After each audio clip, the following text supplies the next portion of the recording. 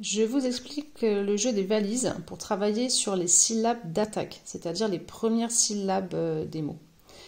Donc avant de jouer, il va bien falloir euh, préciser avec vos enfants le nom des animaux et également le nom de tous les objets qui se trouvent sur les petites cartes pour pas qu'il y ait de, confusion, pour pas qu'on les mette en difficulté inutilement.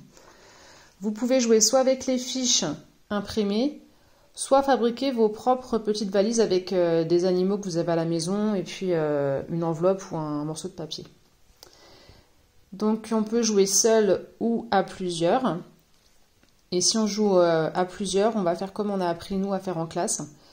donc on va faire un petit, exemple.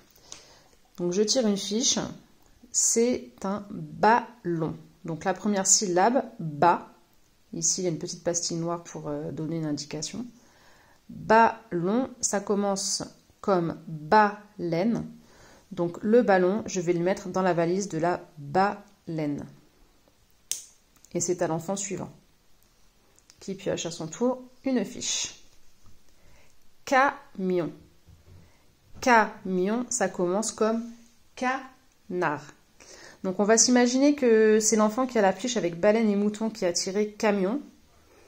Il va se rendre compte qu'il n'a pas besoin de camion pour ses animaux. Donc il va poser la question qui a besoin du camion? Et la personne qui aura la fiche avec euh, le canard va lui répondre j'ai besoin du camion pour mon canard. On continue comme ça jusqu'à temps que chaque animal ait trois objets dans sa valise. Amusez-vous bien